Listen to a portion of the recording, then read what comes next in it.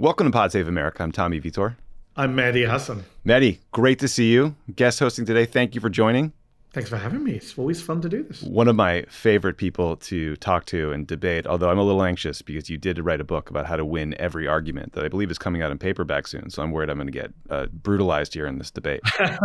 when have you and I ever argued about anything? yes. It's funny. People probably think we're uh, we're too chummy or cozy now, but you should look at our you know, conversations about drones in the Obama administration if you want to see it get a little spicier. On today's show, we're going to talk about what the Biden administration's record on Gaza means for Biden's support here at home and in the critical state of Michigan. We will talk about what a smart U.S. approach would look like in Gaza and how Ukraine funding complicates things. We'll also talk about what's happening with House Republicans' train wreck of impeachment efforts. And in case you missed it, Donald Trump tells Laura Ingraham that he is America's Alexei Navalny. Seems like an apt comparison, right? No, no problems there. I mean, he's still alive. he's, he's he is still alive. He's still alive. Uh, but Mehdi, let's start with Gaza because you have a fantastic piece out in the Guardian today, uh, arguing that President Biden could end the war in Gaza right now with a phone call. You point to an example of President Reagan in 1982, who stopped Israel's bombing of Beirut with a phone call. Can you give us sort of that brief history of what happened back in, in 82 and how you think it applies to what's happening in Gaza today? So, yeah, in 1982, Ronald Reagan was president of the United States, very pro Israeli, just like Joe Biden. Uh, the Israelis were led by a very right wing prime minister, Menachem Begin, a former terrorist, uh, just like today you have Benjamin Netanyahu, a very right wing leader and Begin and Ariel Sharon, remember him, was his defense minister, and they mm-hmm. go into Lebanon. We don't have time to get into why they went into Lebanon, but they're in Lebanon and they're bombing Beirut. They're trying to defeat the PLO, who are hiding in tunnels. Tommy, uh, sound familiar? And they say we will not leave till we wipe them out. And in process of trying to wipe them out, they're killing thousands of civilians in Beirut, the capital of Lebanon. And at one point, uh, the nightly news is showing an image of a child with limbs missing. Again, mm. sound familiar? Horrible. Ronald Reagan apparently sees this. He writes later in his memoir, These images shocked me. And he calls Begin and he says, You need to stop this now. What we're watching is a Holocaust. Reagan used the H word, Tommy, and Begin says, "I know what a Holocaust is. Don't you know? Don't try and lecture me, Mr. President." Along those lines, and yet 20 minutes later, Begin rings back and says to Reagan, "It's over. I've told Sharon to stop the bombing." And the reason I opened the piece with that anecdote is because Reagan apparently put down the phone and said to his deputy chief of staff, I didn't realize I had that kind of power. Now, whether he meant it or not, whether it was snark, who knows? But American presidents have a lot of power, Tommy. You mm-hmm. know that. I know that. You know that from working in the White House. I know that from covering presidents for decades. And the idea that Joe Biden today, and I, I, get it, a lot of listeners of Pod Save America will say Joe Biden is trying, he wants to stop the war. We keep hearing leaks that he wants a ceasefire. He doesn't like Netanyahu. He's effing and blinding about Bibi. But what can we do? Israel is upset after October the 7th, rightly upset. It wants to take out Hamas. We don't have the leverage. And the purpose of my piece was to say not only do we have leverage in the form of arms and finances and diplomatic protection, but we've always had leverage. Ronald Reagan could do it. Uh, George Bush Sr. could do it. And uh, Joe Biden can do it too. He can make that call. And one of the things I cite in the piece is uh, Israeli officials have said openly, we can't do this without America. Defense Minister Gallant, early on in the conflict, when he was asked, why are you letting aid in by his own right wing backbenchers, he said, the Americans told us to. What are we supposed to say? No? Uh, Yitzhak Brik, a very top Israeli general, Tommy, said, if they turn off the tap, everyone knows we can't carry on fighting. So the Israeli military officials are saying, we need the Americans. And yet our government is not saying, all right, then do what we tell you to. And that leads you to the very unfortunate conclusion that the Biden administration doesn't want to stop the fighting. It's not that it can't, it's that it won't. So I think, look, I first of all, I share your enormous frustration with how Gaza is being handled by the Biden administration. Uh, we can get into some of the policies we think would make things better in a minute, but I think the I think the argument's a little bit overstated. I think it's somewhere between, you know, we can't do anything and one phone call. And my argument would be I think Israel today is very different than 1982 just because of, you know, decades of economic growth, frankly, decades of U.S. military assistance that has made them increasingly less reliant on the U.S. But I think the bigger problem for for Biden here would be Bibi Netanyahu, because for those who don't know, Netanyahu is only in power because he cobbled together a coalition of some of the most odious, right wing, racist ministers in Israeli politics. And some of those ministers, like a guy named Itamar Ben Gvir, could topple his coalition government uh, at any time. And so what Netanyahu is primarily worried about is, you know, if if they withdraw support for the coalition and he has to face an election, Netanyahu's party, the Likud, would get crushed according to polls. He'd lose the PM job, and he would lose any uh, future hope of using his power as prime minister to get immunity for the many crimes he has committed and is facing prosecution for. I think you are absolutely right that Biden pressed Netanyahu to stop bombing Gaza back in 2021. It was reported yep. in, in books that he said, All right, you're out of runway. We got to stop this. And they stopped within days, and Netanyahu was gone from office within a month. That's exactly right. I do think, though, the security situation and the politics are, are changed after October 7th. There was a, a recent poll by the Israel Democracy Institute it found that about half of Israelis would oppose a deal to end the war in Gaza if it included the establishment of a Palestinian state and peace agreements with other Arab countries. Another poll found that 72% of respondents agreed with the statement that, quote, the entry of humanitarian aid into the Gaza Strip must be stopped until the Israeli prisoners are released. I say all of that not because I think it should impact what the US does or what you and I think is right or wrong, but just to acknowledge that there's a there's a scenario where Biden uh, trying to tell Netanyahu what to do, and then Netanyahu telling him off ends up being good politics for Bibi. Yeah. And maybe there's a scenario where Bibi goes around Biden to Congress and gets some sort of veto-proof bill passed of assistance. So, look, I, I, think there's a lot more that Biden can and should be doing, but you know, I, I think there are some limits to our leverage. So let me say two things. One is on the specific Israel example. I think, as I pointed out, in the piece, I point out not just Israeli officials, but people like Bruce Riedel, who worked for four presidents, saying, no, no, we have lots of leverage and we don't use that leverage, not because it's complicated, not because Netanyahu can go around us, but because of domestic political Absolutely. reasons that we don't want to use. Uh, that's one issue. So, uh, you know, that that and you mentioned 2021. Biden literally called Netanyahu and said, "Stop this," and it worked. Uh, so that you at some point we have to ask the question: How much this is about Biden and not about Netanyahu? Mm-hmm. Uncomfortable question, I know, for a lot of the listeners. And number two, I would say, just on a general point, not just about Israel, Tommy, and you and I have discussed this before. Sometimes there's value just in the fight. Yeah. Right we have a president right now whose poll numbers aren't so great, uh, who is getting beaten up on all sides by members of his own party, by members of the media, and by, of course, the Republican Party. And sometimes there is value in the fight. Netanyahu is not a popular figure. If Biden picks a fight with him and Netanyahu tries to go to Congress, tries to go to Speaker Johnson or even Chuck Schumer, I don't think that's bad politically for Biden in an election year where actually cozying up to Netanyahu could cost him states like Michigan, could cost him a lot of young voters, people of color, Arab American voters. So I think there's a moral reason and a strategic reason to put pressure on Israel to end this morally unsustainable and strategically disastrous war. But I also think there's domestic political reasons why picking a fight with Netanyahu is, is far from a bad thing to do. Yeah, I'm in violent agreement with you there. Um, so, so some things I'd love to see. I mean, to your point about Biden's approach. Uh, to date, they have had this approach that's called the, the hug Bibi strategy, where basically Biden says he'll disagree with Netanyahu privately, but they don't want to show any daylight in terms of public messaging. And that included uh, Biden literally jumping on a plane, flying to Israel, giving Netanyahu a hug on the tarmac. It's become this sort of iconic image. I, I think we need to, I thought that approach was a mistake from the beginning because not because I think poorly of Joe Biden, because I think incredibly poorly of Bibi Netanyahu. He's a corrupt, uh, racist, bad leader who, you know, a year ago was trying to shred the Israeli judicial system, right? You had literally millions yeah. of protesters on the street every single weekend protesting him. He, he also, Tommy, wants a Trump president. Oh, absolutely. Like they're, they're, not hiding this stuff. They like say ben it out loud. Who you mentioned a moment ago said, if Trump was in office, we'd be able to do whatever we want. And Netanyahu clearly is counting down the days to a Trump presidency. So the idea that Biden is helping a guy who has always undermined Democratic presidents. You remember Bill Clinton famously emerged from a meeting with Netanyahu and said, who the F is the superpower right, here? Right. Barack Obama was humiliated by Netanyahu, who turned up and undermined his Iran negotiations in Congress on American soil. Yeah, he, he failed on that front, but you know but but tried to, yeah. to, you know he was a real pain in the ass that's for sure. You know went went to congress and tried to undermine the us president. So this idea that biden obama clinton should should try and appease a man who has always tried to undermine them in party political terms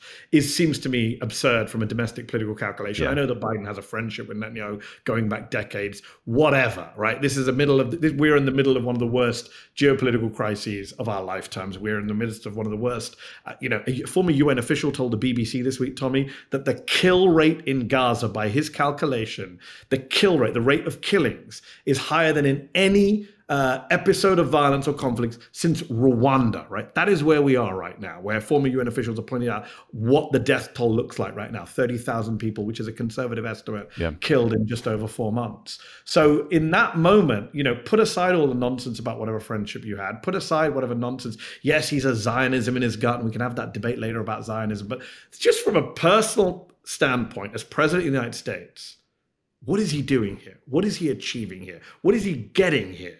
Even if I wasn't pro Palestinian, forget your politics in the Middle East. I just don't get it from a political, domestic political situation. What is going? It's election year. Do we want oh. this really happening in November? Does he think he can win with this happening in November? No, and, and look to your point. I mean, look the the Hamas, the Gaza Health Ministry's estimates are thirty thousand people are dead. I saw the UN has suggested that it might be as many as 100,000 when you consider people who are missing or unaccounted for uh, or confirmed dead. Um, and so I agree with you. There's a moral imperative here, and I also think there is increasingly a growing domestic strategic imperative to put some space and pressure on the Israeli government. I, look, I, I do wonder if early on, when this conflict started, if Biden could have said, "Look, we'll work with you, we'll back you, but you got to get rid of." You know, Itamar Ben Gvir, some of these right wing ministers. I, I do think like the U.S. should be conditioning assistance to Israel uh, at a bare minimum, so that it, it, you know the IDF has to adhere to international law and limit civilian casualties. Um, some people have gone further than that. Bernie Sanders has suggested that we should condition U.S. military assistance to say Israel must also make, make progress towards a Palestinian state. Uh, I think the U.S. needs to stop vetoing every call for a ceasefire at the UN. Uh, happened again this week. I did see, Mehdi, that Al Jazeera reported that the U.S. has drafted a UN resolution calling for a temporary ceasefire, the release of hostages, uh, and it overtly states that we oppose a ground offensive in Rafah. So I think that's a good step. And listen, to, to folks listening who think this is bias against Israel, I just want to say the reason I support this set of policy guidelines or, or, proposals is because I think it will save innocent Palestinian lives in Gaza. But I also think a negotiated ceasefire is the only way to get the remaining hostages back alive. And I think that getting the two parties into a political process that will solve the underlying tensions that fuel this cycle of violence year after year after year is the only way to get to a durable peace. You cannot kill every member of Hamas. You cannot kill an idea. The Israeli military are saying you cannot kill every member of Hamas and you cannot defeat Hamas in this way. These members of the Israeli war cabinet are saying this. And let's not forget, uh, for listeners in America, families of the hostages are saying, please. Right get our family members out alive, end this conflict, do a deal. And the vast majority of hostages who have been released were released in that very brief, uh, temporary right. uh, ceasefire that happened, temporary halt of fighting that happened back in, when was it, November? Uh, something like 90 9% of the hostages have been released in that way. How many of the Israelis saved, rescued through military action? Two, three? three yeah. How many did they kill? Uh, we're now hearing numbers that they may have killed up to 10, 15, 20 in the Israeli press of their own hostages through airstrikes. And we know about the three they shot dead who were carrying white flags. So it's been a disaster even for Israeli innocents, this war. Let's be clear about that. Yeah. And listen, I, I can't even imagine how hard this is if you are a progressive Israeli who feels like you know you like months ago you were on the streets protesting the Netanyahu government, and now you are stuck with these guys leading this war effort that is a a moral and strategic disaster. Like I have enormous empathy for people in Israel who feel like October seventh was yesterday. That wound has not come close to healing. I have enormous empathy for Jews around the world who are scared as uh, incidents of anti-Semitism rise up. But I do think that you know getting a, a ceasefire, getting to a negotiated settlement that gets the hostages back is the best way to create a durable peace for everyone involved here. Um, but I, I, do want to turn to the domestic politics you mentioned, Mehdi. One place it's clear is in Michigan. Uh, Michigan has a large Arab American and Muslim American population. The state's primary is on February 27th. There's a bunch of Democrats in Michigan, including Rashida Tlaib uh, and the mayor of Dearborn, who are, who are encouraging Michiganders to vote uncommitted, so not vote for Biden, but to write in uncommitted. Um, we talked with an activist organizer and former Cori Bush staffer named Abbas Alawieh about the uncommitted movement. Uh, he was also a part of a meeting that recently happened in Michigan with some senior members of Pre- President Biden's national security team. Here's a clip. What this movement is coming out of is people have been calling the representatives, they've been calling the White House, they've been protesting in the streets, they've been shutting down highways, and Biden still doesn't seem to be hearing us. So, you know what?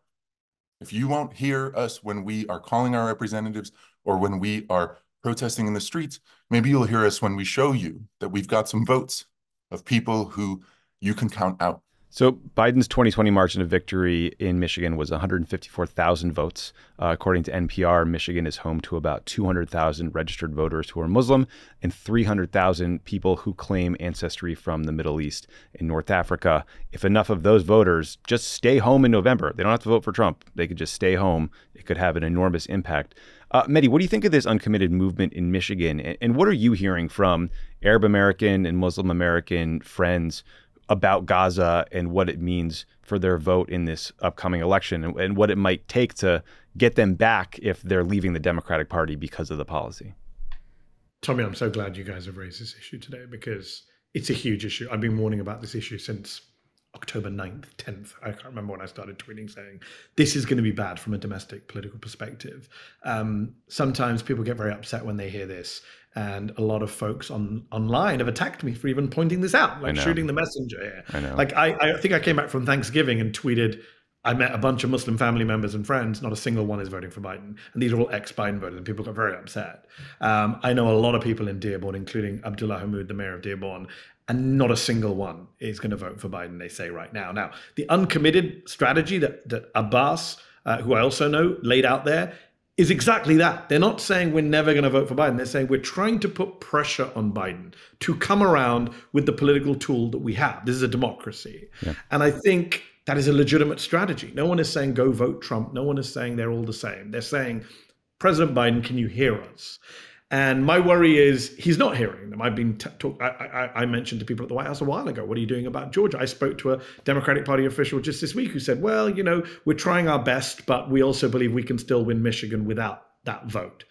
That's a risky strategy given how close the votes have been in not just Michigan, by the way, Tommy, big Muslim and Arab American populations in Georgia, in the Atlanta area. Yep. Very, very narrow margin Philly. of victory, you know, there. Um, Wisconsin, less so in Pennsylvania. Um, so it's a real issue. And the question then becomes how do you engage the voters? And my worry is a lot of white liberals who I interact with, a lot of elected Democrats just say, but what about Trump? Mm-hmm. What about the Muslim ban? Yep. Yeah, that doesn't work, right? And, and Abdullah Hammoud wrote a wonderful piece for the New York Times this week. I urge everyone to read it. Powerful. And he says, yeah. he says, look, when people come to me as the mayor of Dearborn and say, I lost 80 members of my family, which people have come and told him, right? There are people who've lost dozens and dozens of family members in Gaza.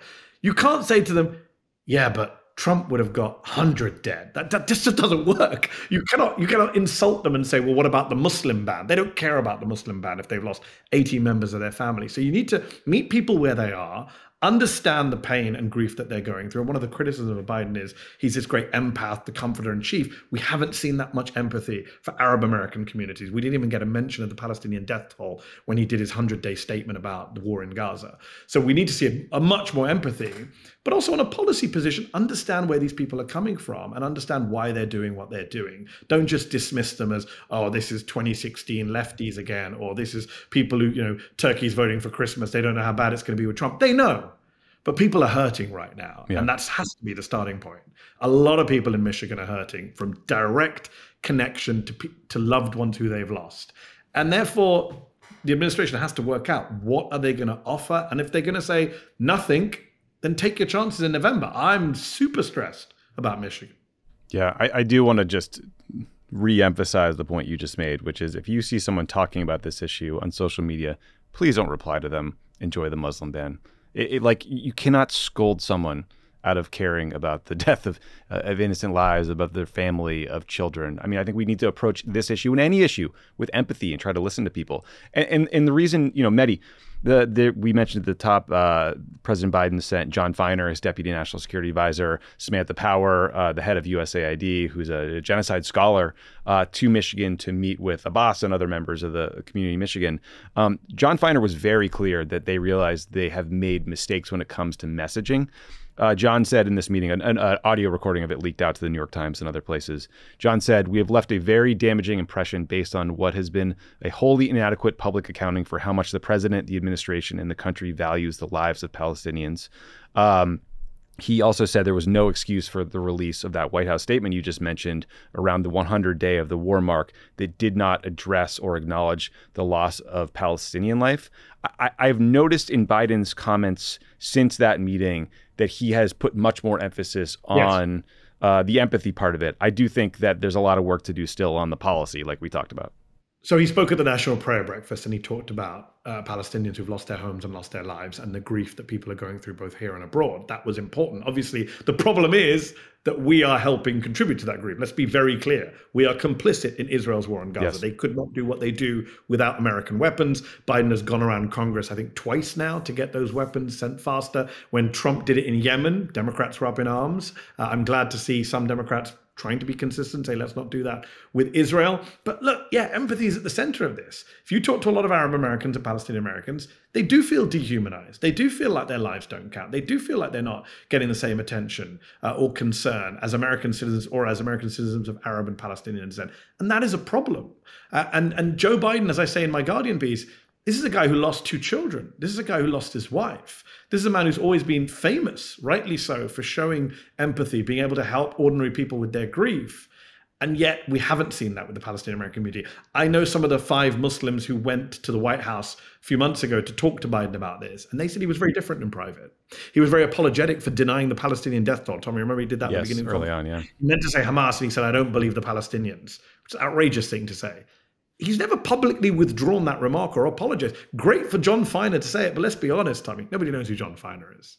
Has to come from the top. You know, Truman, buck stops here, etc. It has to be Joe Biden making these amends and trying to reach out to American citizens who are, as I say, genuinely hurting because they are witnessing what they believe to be and what I believe to be a genocide in the Middle East that the United States is complicit in. I also think it's worth mentioning that this is not just a challenge for Biden within Arab American and Muslim American communities. I think you're increasingly seeing concern with younger voters.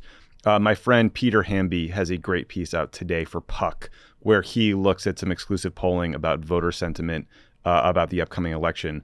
One very concerning finding is that uh, among black voters and voters between the age of 18 to 29, they are considerably more likely uh, to find the to feel like the outcome of a Trump versus Biden election will have no difference for them personally. They just are like they're completely apathetic. And obviously, you know, for for political addicts like you and me and listeners of this show, that makes you want to pull your hair out. It's maddening. But I do think it, it speaks to a broader lack of faith in a political system uh, that provides a headwind for Democrats because we're the party that believes in government and believes that government can do things to help people. And Republicans overtly say things like, "No, I want to drown, you know, government in the bathtub. I want to make it that small."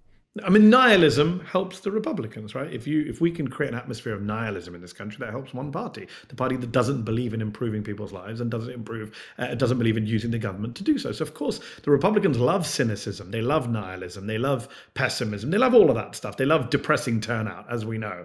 And you're right, it's not just young voters, black voters. The New York Times ran a piece recently from a bunch of black pastors in Georgia who said the lack of a ceasefire is a real problem for us with our congregations. This is a moral issue for us in Georgia. That wasn't Muslims in mosques. That was Christians in churches. Mm-hmm. So it is a problem across the board, and intersectionality is a real thing, even if the right don't like that word. Uh, one member of Congress told me right at the beginning of this conflict that they had a meeting scheduled with a bunch of young climate change activists in their office, and they, when they rang them, when they called them to say, "Is it still happening?" They're like, "We don't give an f about climate change right now. We only care about Gaza." Right. So a lot of these young activist groups, they are all interconnected. If you care about climate change, you will tend to care about Gaza. You tend to care about police violence. These issues are interconnected, and therefore you need a kind of offering across across the board uh, that engages with young voters, and you've got to do the right thing. So, my worry is all of these things meld together and just hurt Biden across the board. And the Democrats need to realize this point. A lot of the people I hear complaining about Biden's Gaza policy, they're now saying stuff like, and he's really old and he falls over. Because, of course, once you go down the TikTok or Instagram or Twitter rabbit hole of being anti someone, mm-hmm. the algorithm serves you yeah. up everything else. So it becomes very easy to lose the one, you know, a voter on one issue and then they're anti you on everything. That's very easy in our social media age, sadly. Yeah, it is. Um, one of the things I want to talk about, uh, speaking of the social media age, Mehdi. So there was a report in Semafor recently about how a DC-based PR firm with very close ties to the Biden administration has been, you know, policing press coverage of the war in Gaza, uh, including going as far as researching tweets that journalists sent back when they were in college, like back in 2008, 2009, 2011. Um, you are on the front lines, you know, talking about this stuff every day and have been for a long time, the front lines of social media, of Twitter. Um, can you talk about the pressure that you and other journalists feel, both internally at news organizations, but also on social media when it comes to covering the Middle East in particular? And how do you avoid being intimidated while also trying to listen to feedback and, and genuinely be balanced in your coverage?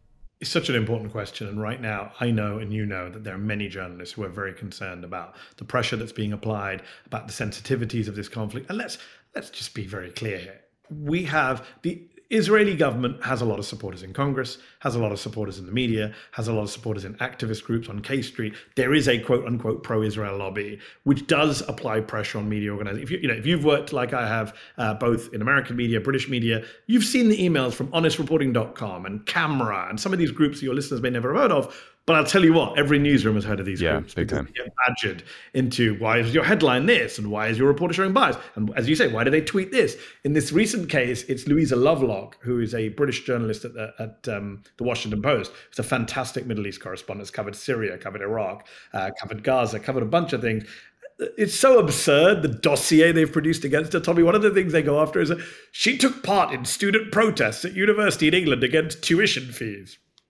And right. Like, a, that's a bad thing. B, that means she can't cover Israel's bombing of Gaza. Like, it's so absurd, the stuff that they pull out. With me, of course, I've had stuff going back 20, 30 years that they've thrown at me. Um, and it's a real problem where people get intimidated into not saying, not speaking what they want to speak about. And, you know, we, we live in a world where the right is obsessed about cancel culture and free speech. When, let's be very clear, the greatest victims of quote unquote cancel culture in this country have always been Palestinian activists, both on campus, in the media, in politics. I mean, let's just be clear, Tommy. We have a Congress filled with white supremacists. We have a guy, I think Andy Ogles from Tennessee this week, who was caught on tape saying, kill them all. Thought, right? yeah. None horrible. of these guys get any attention, no votes of censure. Who is the only member of Congress who's been censured since October the 7th? Um, the one Palestinian woman. So let's just be very clear who the victims of quote unquote cancel culture and suppression and intimidation are. It tends to be people who speak out on behalf of Palestinians, um, and that's the case. That's the case with reporters who aren't even taking positions. They're just reporting what they're seeing, and what they're seeing, of course, is not favorable to the Israeli narrative because what they're seeing is mass starvation. What they're seeing are mass killings. What they're seeing are kids being pulled out from the rubble, and of course that doesn't help the Israeli narratives. You have firms like what is it? What is it called? SKD I can't remember the name of the firm. Yep. Uh, which Anita Dunn, uh, top advisor to Biden, uh, used to work at. A bunch of Biden people used to work there. Let me ask you this, Tommy. Do you believe, as someone who's ex administration, do you believe it would be helpful for our democracy? We talked about the system and people being disillusioned with the system. If we could have clearer barriers between the private sector and the public sector, between people working in government and people working in PR. Yeah, I mean, I, it's hard to know how it would apply to PR. I do think that yes, some sort of brighter line cooling off period like we have with ethics and lobbying reform could apply. I haven't thought deeply about how it applied to PR firms in full disclosure. I mean, I left uh, government and started a speechwriting firm with Jon Favreau before we uh, started selling underwear ads for a living. So I'm probably complicit here. I mean, don't, Tommy, don't write off the power of the underwear lobby. Thank you. Tommy John is a powerful lobby. You don't want to cross those guys. Um, Mehdi, I, I read that Washington Post story and I thought, like, on one level, okay, everything we all tweet and post and whatever is like in the public domain forever, and we just all have to be aware of that. But really, when I read into like some of the things they were attacking Louise Loveluck for, it was like, she said Obama's failure to put out a statement about an Egyptian election was deplorable. And I was like, I think that's almost terminally dorky, but uh, I don't really find a, a, ton of bias in this dossier here. But I do think, look, I, this issue in particular is one where people think if they um, speak out, they'll get slapped down. Uh, and I think it leads to caution and inaction and a lack of courage, both in media circles, but also among government staffers, because I know that I could never, ever be confirmed for uh, some sort of State Department job ever again, based on what I've said uh, about Netanyahu alone. And there's a lot of people that are just not going to make that decision. Tommy, forget State Department. Recently, there was a Muslim judge who was up for a judgeship and went before the Senate a few weeks ago. Uh, and Tom Cotton, was it Tom Cotton or Josh Hawley? I interchange all those freaks. Me too. and one of them, one of them said, I think it was Cotton, said, you know, what do you think of Zionism, two states? I can't remember what it was. It was something about Israel. And the judge was like, I'm a judge in America. Nobody cares about my views on that issue. Why are you asking me that? Like, that's the point we've reached now, where you have those kind of theatrics in the Senate. You have Elise Stefanik in the House accusing every college president of being an anti Semite. Meanwhile, she pushes great replacement theory. I mean, the, the, the use and abuse of anti Semitism to shut down critics of Israel is also part of the problem here, which is why a lot of reporters rightly don't want to be called anti Semitic, don't want to be teamed bigots. So that also leads to kind of chilling atmosphere around free speech on this issue. And of course, we should speak out against anti Semitism wherever we see it. And there is a lot of it around, sadly, right now, including in the media. But that doesn't mean you can just not have reporters saying what they need to say about what's happening in the Middle East. That, for me, is a fundamental problem, and it's a real free speech issue. We have Republicans trying to pass laws banning American businesses from being able to boycott Israel. You don't have to support a boycott of Israel, but the idea that uh, an American business owner can't make that decision on their own is absurd. Yeah. I mean, look, anti Semitism is a real problem. Anti Semitism is a growing problem, especially since October 7th. It's something I'm quite worried about. I think we all should be calling out and highlighting.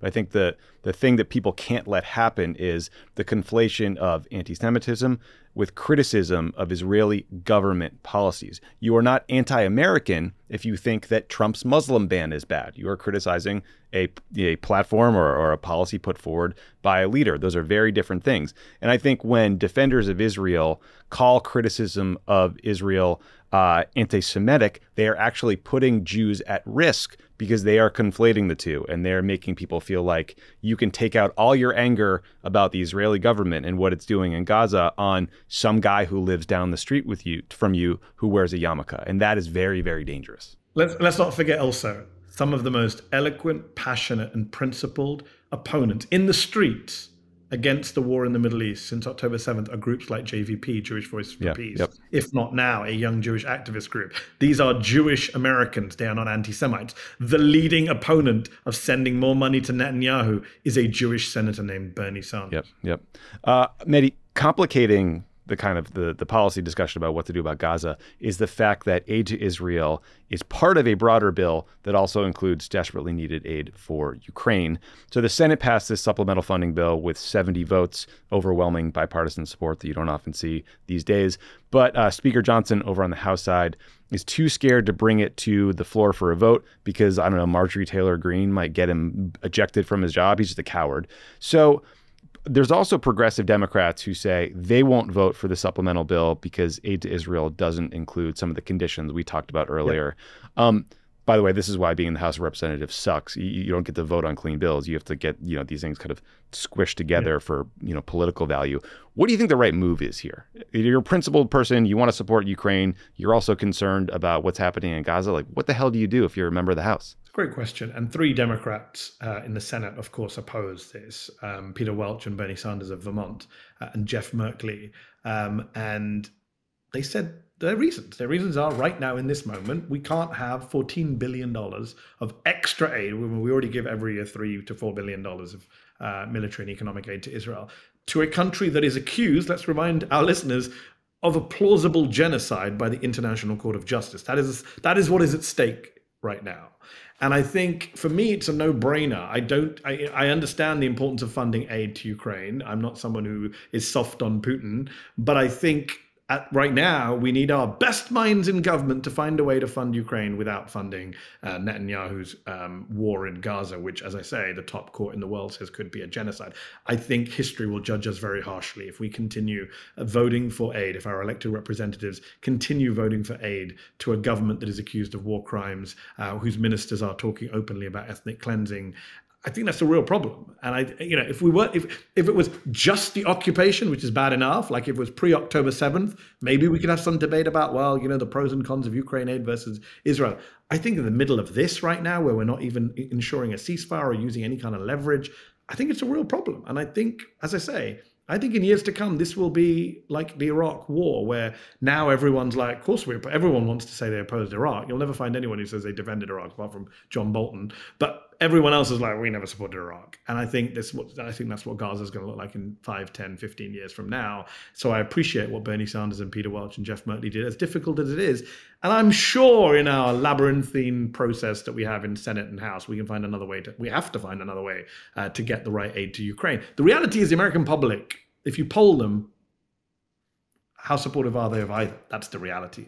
American voters will look at this stuff and they are kind of What about us? What about the money at home? Now, I'm not saying that's right or wrong, but I mean that is the political context during an election. Yeah, th- that kind of uh, America First nationalist argument is exactly what you're hearing from the MAGA Republicans. It's a powerful one, both currently and historically, and in, in other countries. I was surprised and kind of heartened by a recent Pew poll that found 74% of Americans view the war in Ukraine as important to U.S. national interests, and 59% said it was important to them personally. So that did make me think maybe they would be more open to aid than I thought. I mean, maybe you're, you know, you know probably like 50%.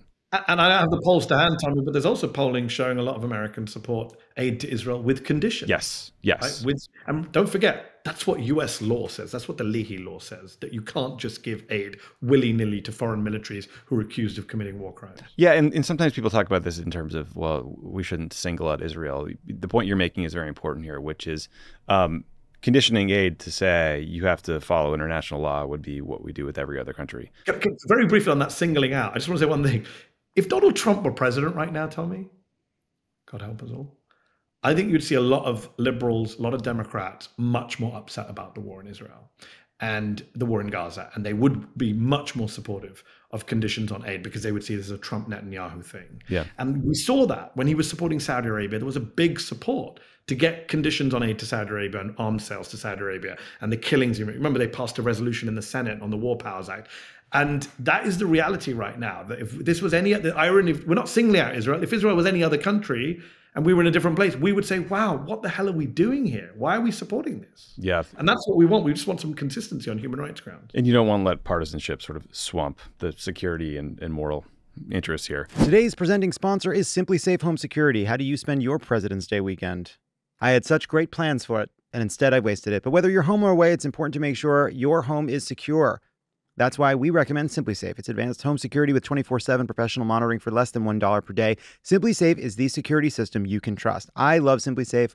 I set up a SimpliSafe system in my home, and when I did, it was incredibly easy and convenient. And once it was set up, the app worked perfectly. I highly recommend it. SimpliSafe is trusted not just by me, but by experts. It's named Best Home Security Systems of 2024 by US News and World Report. SimpliSafe offers everything you need for whole home protection, HD cameras for indoor and outdoors, advanced motion sensors and entry sensors to protect doors, windows, and rooms, and a collection of hazard sensors that detect fire, flooding, and more. It's powered by 24 7 professional monitoring, and the system is easy to set up yourself without any special tools or know how required. Don't want to do it yourself? No problem. You can get one of their expert technicians to come to your house and install it for you. Plus, with the 60 day risk free trial, if you don't love your system, you can return it for a full refund. SimpliSafe even covers return shipping. Order now to get 20% off any new SimpliSafe system with Fast Protect monitoring. Don't wait. Visit simplisafe.com slash crooked. That's simplisafe.com slash crooked. There's no safe like SimpliSafe. Last Friday, we learned a great setup for the Trump piece of this. So we learned that uh, a Russian opposition leader named Alexei Navalny had been killed. Navalny was being held in a, a, Russian penal colony in the Arctic Circle when he died. Uh, Putin tried to poison Navalny several times before throwing him in jail for 30 years on trumped up charges. So we should all assume that this was just a state sanctioned murder of Alexei Navalny. Um, now that everyone listening knows that context, I want you to hear a clip from President Trump at a Fox News town hall last night going crazy here, but during this campaign, a huge amount of your time has been spent in court, in the courtroom in New York and, and so forth. Now, in this New York civil fraud case, this Judge Arthur Engoron ruled against you for almost a half a billion dollars plus interest that runs every day. When I first read this, like $87,000 a day. How will you put up that kind of money? Because you have a bond to put up. Even if, if you appeal, you got to put up escrow money. That's uh, uh, it's a lot it of lot of dough. It is a form of Navalny. It is a form of uh, communism or fascism. How could it be Navalny and communism and fascism? I feel like that's that doesn't quite work. I mean, it's, it's unlike Trump to speak in an incoherent manner that doesn't make any historical or sense or English sense. Um, I mean, MAGA, I made this point recently on social media. MAGA want to have their cake and eat it. They want Trump to be Putin and the victim of Putin at the same time. He'll play any role going, right? Um, and so it's, it's, it's, and also this whole Navalny comparison is so absurd. And the whole, anytime something happens abroad, you know, like Newt Gingrich jumps up and says, this is what's happening to Trump. It's like, no, it's not. Um, you know, if only Merrick Garland worked for Vladimir Putin. Uh, if only uh, he had an attorney general who refused to do uh, what needed to be done in the time frame that he had. Uh, you know, Trump is the luckiest man in the world. Uh, he incited an insurrection. Then the next guy came in and said, let's look forward, not back. And the next guy appointed attorney general who said, let's not go after Donald Trump too obviously. And now we're in an election year and none of the trials might be concluded or even start before people get to vote. So this idea that he's like Navalny is absurd. He's actually the luckiest accused criminal I've ever come across. Um, and Teflon Trump continues to dodge prosecution. Look, Navalny was almost certainly killed. I mean, the Russian defense is that he died. What was it? He sudden death syndrome. He was taking a walk. Doesn't exist for adults, as far as I'm aware. He's 47. Um, so it's absurd. And by the way, on a serious note, Tommy, there are a lot of Republicans now who are claiming that Trump is going to get assassinated. The deep state wants to kill him. Um, and you remember, and we can laugh, and but these are the people who thought, including Trump, that Scalia had been assassinated. Right. In, if you remember, Right. in 2016, uh, when that seat or 2015, whatever it was, when that seat became available. These people are obsessed with this stuff. So look, this is not Russia, obviously. We have a president who's not actually involved in any of the trials, has run, a, run away from any involvement with any prosecutions of Trump. And again, to go back to the Russia issue, I was never a big kind of to quote unquote Russia gate, as the right puts it, person. I was never somebody who thought the biggest problem with Donald Trump's presidency was that he was an agent of Russia. But I always did wonder how come the guy who slams everyone on earth, calls everyone an insult and a nickname, never says anything about Putin? How come he never ever crit- like find me one statement where he insults, belittled? He even mocked Kim Jong Un as little rocket man before he fell in Sure. love with him. Putin, nothing, nada, not from before presidency, not during presidency, not since, and even now with Navalny, refuses to say anything critical of Putin. So for me, that's always been a problem that nags away at me. Yeah, and you know, the irony here is that Navalny, you know, built his career fighting corruption, exposing corruption from people like Dmitry Medvedev, who was the former president of Russia, or Vladimir Putin. Uh, but you're, you know, you're right to call out the people who think Trump was assassinated, but people who believe or will be assassinated, because people who believe things like that will do things like January 6th, and it's it's worrisome. Well, Tucker Carlson, who is kind of wants to be Trump's VP, Yes. You know, he was asked in Dubai, I think. Uh, you know, he, he flies from one oasis of democracy to another, and he said uh, he sat there and he, they said to him about you know you didn't bring up all the killings under Putin when you did your interview with him, and he said, well, you know, every leader has to kill people. And it's like that is now the mindset on the right. Like this is not your Ronald Reagan's Republican Party. Um, this is the party that just says. And remember, Trump said that to Bill O'Reilly. Like, you think we're not killers? Yeah. And it, yeah, in one sense, as a lefty, I would say I'm glad people are bringing up the fact that we've killed a lot of innocent people. But the idea that Republicans now are just going around saying it's fine for foreign dictators to assassinate people because because Merrick Garland's coming after our guy. I mean, t- they're not the same thing. Yeah, because Trump cheated on his taxes. Well, I, I want to ask you about Tucker Carlson. So he went to Moscow, he interviewed Putin. He forgot to ask about Navalny, but he did have time to film some propaganda videos about the subway being nice and about the grocery I stores. mean, the music on that video was just. The, the, the, the way the swings st- uh, swelled at the end was gorgeous. So do we think Tucker Carlson uses a subway in this country? No, no, you know he's black cars only for the last thirty years. Uh, I would love your point, of, your your take on this. I I don't really have a problem with interviewing Vladimir Putin. I do think like if you're going to do it, you do it right. Like don't throw the guy softballs in the middle of a war. You're known for doing really tough interviews. People often retweet the videos of them and wonder why the hell did this person agree to go on Mehdi's show. What's your philosophy on interviewing uh, bad actors like a Vladimir Putin? So totally, we should interview Vladimir Putin. How can we not? And the, and the lie that Tucker told in that video that he did announcing the interview was that nobody else, nobody wants to interview him. That's why I came here. Which is which even Putin's spokesman said that's not true. We turn down interview requests from the West every day. Like even Putin's own spokesman disowned Tucker Carlson's nonsense. So of course people want to interview him. It's how you interview him. It's not in a kind of friendly, chatty, sycophantic way. And we've seen Trump's, in, uh, we've seen Tucker's interview with Trump was very sycophantic, and with Putin. And look, if I was interviewing Vladimir Putin, and by the way, Putin has now told other interviewers, I was very disappointed with this Yeah, interview. I thought it would be more challenging. So good. Imagine Vladimir Putin mocking you and saying, You were too soft on me, So good. the dictator. Right? That's just, I mean, take that to your epitaph. Um, for me, I, what, what, I find fascinating about uh, Vladimir Putin is he's taken some interesting stances in the past. And like, if I sat down with Vladimir Putin, if he ever let me do an interview, which he probably wouldn't, you know, I would want to talk about what he's done to Ukraine in the context of years of pontificating about national sovereignty and borders. Right? Putin was the guy in 2003 who stood up against George W. Bush and Tony Blair and said, You cannot invade Iraq. That's an illegal invasion. It's going to be a disastrous occupation, and you're violating national sovereignty. Hello, Ukraine 2014 and 2022. I feel like you could have actually a quite interesting back and forth, pushing him on the inconsistencies of Indian foreign policy. Now, of course, he's a gaslighter like Trump. You're not going to go too far with such people. But I think exposing contradictions and inconsistencies is always an important thing for interviewers to do.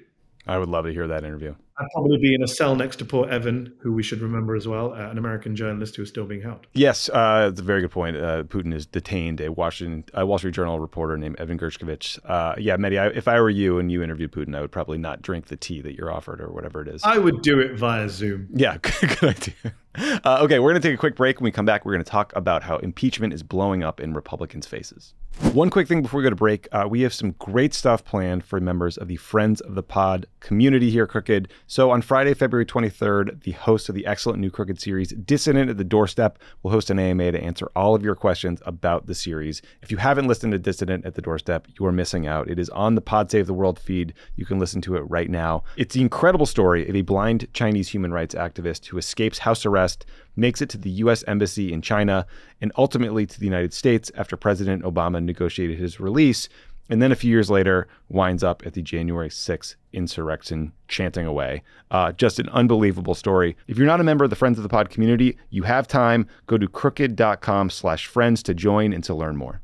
Pod Save America is brought to you by Beam. Are you having trouble sleeping or staying asleep? Yes. Have you tried other sleep supplements with no success? Also, yes. Sleep is the foundation of our mental and physical health. Proper sleep can also increase focus, boost energy, and improve your mood.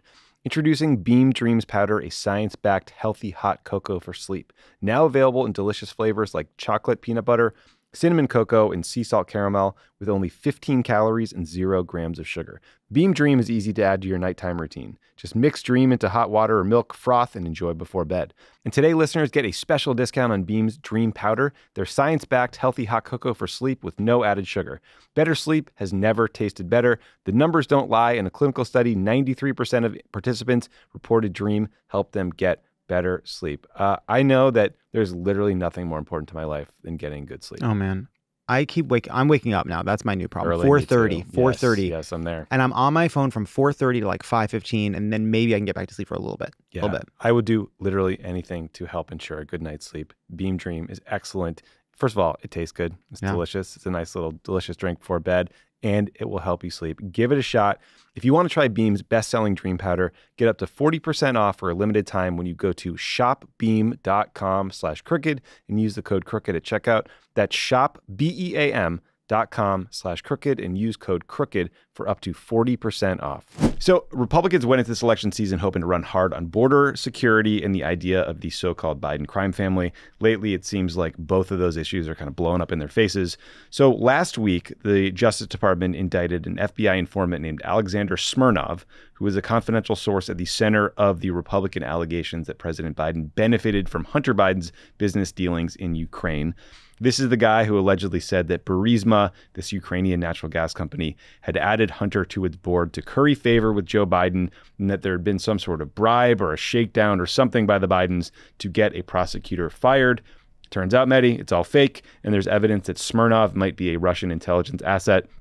In a new court filing from on Tuesday, Justice Department prosecutors allege that Smirnov had, quote, recent and extensive contact with Russian intelligence officials who were involved in passing him information about Hunter Biden. Uh, so today, President Biden's brother James is appearing before the House Oversight Committee, and Hunter Biden is set to testify as part of the impeachment inquiry next week. So, Mehdi, the whole paragraph I just read you about this Smirnov Yeah. guy and what a name, it's all giving me flashbacks to 2016, 2017, the Steele dossier, the Russian interference. You know the story. What do you think Democrats do here? There seems like some credible evidence of Russian involvement, but I, I just I don't want to sound like I'm wearing a tinfoil hat again and Yes. deal with this nonsense. Which shows you the power of Republican propaganda that even you and I sitting on Pod Save America are like, oh my God, not Russia again. Like Right. they're so beaten into us that the Russian thing was nothing burger when it wasn't a nothing burger, that we're now kind of getting PTSD and getting defensive. Let's be clear the indictment is not just from the Biden DOJ, it's from a Trump appointed prosecutor, David Weiss, Weiss, I can never pronounce his last name, uh, who, who has brought these charges saying this is ridiculous. This point. guy was not a credible uh, informant or witness. And don't forget the entire Republican impeachment strategy against Joe Biden depended on this guy. Like Ted Cruz, I believe I saw someone tweet that Ted Cruz did dozens of his podcast episodes just on this guy's allegations. Uh, James Comer called him a credible witness. Chuck Grassley, when he's not out looking for pigeons, was citing this guy. right? They were all there, like bigging up Smirnov. Remember, the FBI didn't want to give the form with this guy's evidence on it because they said we don't think he's valid. Republicans insisted, right. give it to us, give it to us, and then built their entire impeachment case right. around this guy who the FBI said, hey, this guy's not credible. He's now being charged. I mean, the indictment, by the way, if Pod Save America listeners have some time tonight, sit down with a copy of the indictment. Because I'll tell you what, I've become a fan of reading DOJ indictments recently. They are very well written. Of course you are. Whether they're written, whether they're written by David Weiss or whether they're written by Jack Smith, there's some good stuff in there. I mean, going back to like the Mar-a-Lago bathroom photo, uh, like I've become a fan of DOJ indictments. Like, put that on my reading list. This one has a whole section, Tommy, where they talk about Mr. Smirnov meeting with Russian official one, who Smirnov describes as the son of some government minister, who apparently is in charge of assassinations abroad. Come on, where do you get color and detail like that, even in the best of novels? So Smirnov, the Republicans guy, is talking to a Russian official who's in charge of assassinations abroad. I guess they have a different team for assassinations at home. But this is who he is. And the idea that the entire Biden impeachment campaign could have been a Russian op is hilarious. But yes, does will be treated by a lot of MAGA folks as oh, that's just another conspiracy. That's Democrats blaming Russia. But what's interesting is in the indictment, they make it very clear this isn't just about Russian officials. It's about demonstrable evidence of falsehoods. Like he said, Hunter Biden was in Ukraine when Hunter Biden never went to Ukraine. He's, you know, he made certain specific time and date allegations which weren't true. Of course, we've never found any evidence of $5 million going to Joe Biden. And I do want to add one thing, Tommy. Mm-hmm. I am no defender of Hunter Biden or James Biden. I do believe they did trade off their name. I do believe they did get jobs and contracts because they were related to Joe Biden. That's a different argument. Were Biden family members behaving in an unseemly, morally corrupt, I don't know, financially corrupt way? Perhaps, probably. That is not the same thing as saying the President of the United States took a bribe, which is a big allegation, which is an impeachable allegation. There has been zero evidence of that from the very beginning. And the Republicans needed this dodgy dude called Smirnov to try and make it. And look, they don't care. They'll, you know, Fox are not even covering the stuff. Right. Sean Hannity made it the centerpiece of his programming. They'll never do a fact right. check, which is why I refuse to call them Fox News, not a news channel. Yeah, they're not. I love the idea of like you waking up in the morning, brewing some coffee, just flipping through some indictments. Don't read that Robert Hur one. Well, maybe read it. It starts shitty, but you know, by the end, when you get to the details. What are you reading tonight, honey? Which indictment from the Which... DOJ should we download from? Mehdi's in bed with a three ring binder and like a little flashlight. I don't print out. I just do it on screen. PDF, baby. Oh, there we go. Uh, so, Plan B, Meddy, since you, you're, as you pointed out, they cannot find any evidence that Joe Biden benefited financially in any way from his son's uh, business yeah. dealings uh, is impeaching the Secretary of Homeland Security, Alejandro Mayorkas. This was this is like the consolation prize, right? If the Biden impeachment didn't work out, who can we impeach next? who else? What's our list? Let's go down. Um, it's basically like the Republicans think that they're they're impeaching him because they don't agree with the Biden in, in uh, immigration policy, basically. So the Mayorkas impeachment passed the House by one vote. Uh, it took them two tries, but it finally passed. The presumption was it was dead in the Senate.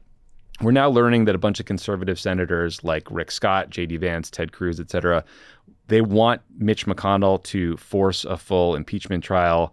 They might have been meeting with the parliamentarian to figure out a way to do it. So there, there's sort of two schools of thought, Mehdi, on how Democrats should handle this.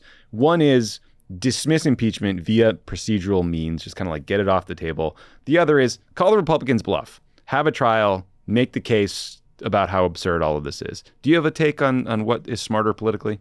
Uh, I would say the first option only because the second option only works if you're good at that kind of political trench warfare, and mm. Senate Democrats are not. That's a good point. Any faith, I'd have any faith that the Democratic leadership or the Democrats in the Senate would be able to fight fire with fire in the same way. You know, I just watched recently uh, Chris Murphy, who's a senator I have a lot of time for, is uh, you know very good on a lot of issues.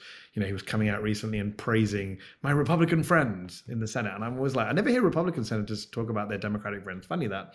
Um, but look, this is a dumb thing to do by the House. Uh, dumb is the word I think uh, Kevin Cramer, Republican senator, used recently, saying it's dumb. Why we, we can't entertain this? But yes, Cruz, Mike Lee, the usual suspects are pushing it. People like Ted Cruz and Mike Lee shouldn't even be in the Senate. They should have been expelled for their role in inciting an insurrection. The fact that people like Hawley and Cruz are even still senators, I know we've all moved on. I'm still mad about the fact that there was never a full ethics committee investigation of Josh Hawley and Ted Cruz's role in trying to overturn American democracy. So the idea that we should take lectures from them about impeachment is absurd.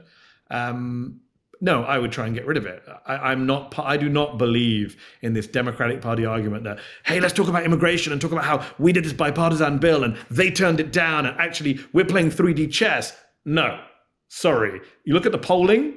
Did you see the polls after that bipartisan bill failed? Yeah. They said they blame Biden more than Trump. Yes. For that failure. People don't follow this stuff closely. When they think of immigration, they think Republicans tough, Democrats weak. Republicans win, Democrats lose. The idea that you should want to be talking about the border going into the presidential election and that the idea that that helps anyone other than the Republicans is mad. I agree with you broadly. I think you need an answer on the border. And I think yep. that the Republicans negotiating and then killing their own bipartisan immigration bill is that answer. And you're absolutely right. There was some polling uh, that came out right away that showed the majority of voters blame President Biden for what happened, which, as you note, shows that they're just not paying attention and they just have negative feelings about Biden. So they're blaming him for anything.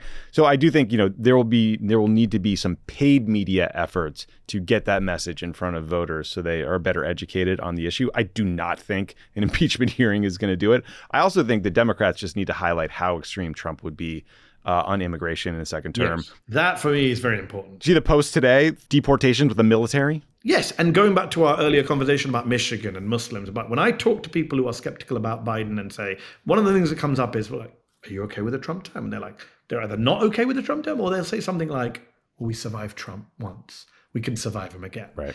And then what I do in that case, Tommy, is I lay out what's coming in Trump term two, because Trump two is not Trump one right? Mm-hmm. This is not a sequel to a movie which is the same as the first movie. It is very different what is coming down the line. It is full blown fascism. And I'm not just saying this in hyperbolic way as a critic. This is the stuff they're saying, what Stephen Miller is saying, what Mike Davis is saying, what Donald Trump is saying, what Steve Bannon is saying.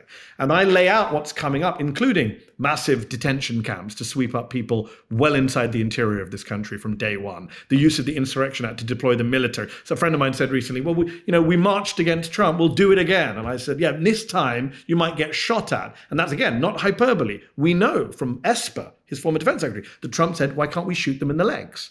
The George Floyd protesters. Mm-hmm. He said, You can't do that, Mr. President. Yeah. Next time round, Defense Secretary Kash Patel will not say, You can't do that, Mr. President. He'll say, Let's do it. So this is what's coming down the line. And actually, when you talk to people and explain what's coming, actually, you do get some sense of there are persuadables. And I think the Democrats need to be doing that full bore right now, 24 7 of what is coming from a Trump second term, and not this whole my Republican friends in the Senate. It's the fascist enablers who are coming down the track. Yes, totally agree. And and luckily Trump is kind of helping us tell that story. He doesn't hide anything. He says it out loud no. every single day. Yeah, so he did a, a, Fox town hall last night. It was with Laura Ingraham, where he was his usual thoughtful coach and self, uh, talking about his legal prowess, many other things, how he's loved by billionaires. Let's take a listen to a little supercut we did. There's crime, there's violent crime, there's migrant crime. We have a new category of crime. It's called migrant crime, and it's going to be worse than any other form of crime. I, I have to say, I don't. This is in a very positive way. Tim Scott, he has been much better for me than he was for himself. I watched his campaign, and he doesn't like talking about himself. They come out with uh, faucets where no water comes out. You know, if you go and buy a home, and they know what I mean the showers, you stand under a shower and there's no water coming, and you're saying you you end up standing there five times longer. You have mail-in voting, you automatically have fraud. If you have okay, well, there's mail-in voting in Florida, That's and you won huge. That's right. If you have it, you're going to have fraud. But you won. Sort of a, uh, a greatest hits, some new stuff. I mean, the greatest hits are there. The shower, the obsession mm. with showers and faucets and water pressure. Well, that is a book in itself. One day we will discover why Donald Trump is yeah. obsessed and when people say to me, oh, Joe Biden, he confused Sisi with the president of Mexico, I'm like, the other guy wants to inject Clorox into your veins and is obsessed with toilet flush levels, right? It's insane. You would get up and walk away from the guy on the on the subway, on Tucker Carlson subway, who talked about shower pressure incessantly. By the way, in that clip, Tommy, he yet again admits to crimes. Because he says mail-in voting is fraud. That makes him a fraudster Right, because yeah. he voted by mail in Florida in 2020 in the GOP primary. So uh, once again, he can't help himself but just admit to all sorts of wrongdoing, even on his own terms. If it's fraud, then he's a fraudster. We're gonna have to listen to a lot more of those. I, CNN reported that President Biden personally told his staff to be more aggressive in highlighting the stuff Trump is saying, the inflammatory comments, et cetera. The crazy shit. I yeah, think was the the crazy shit is exactly which was as reported on CNN. Uh, It's nice of Trump to make it easy for us. So yes, clearly they will keep doing this. Uh, Mehdi, thank you so much for doing the show today. It's so great to talk with you as always. And everyone should buy your book, Win Every Argument, because then you can just you know beat everyone in your family over holidays or whatever debate you need to do. Or, or, or, or ahead of an election if you're trying. to Yeah, there's that one. Oh, shit. Yeah, There's that too. That too. That too.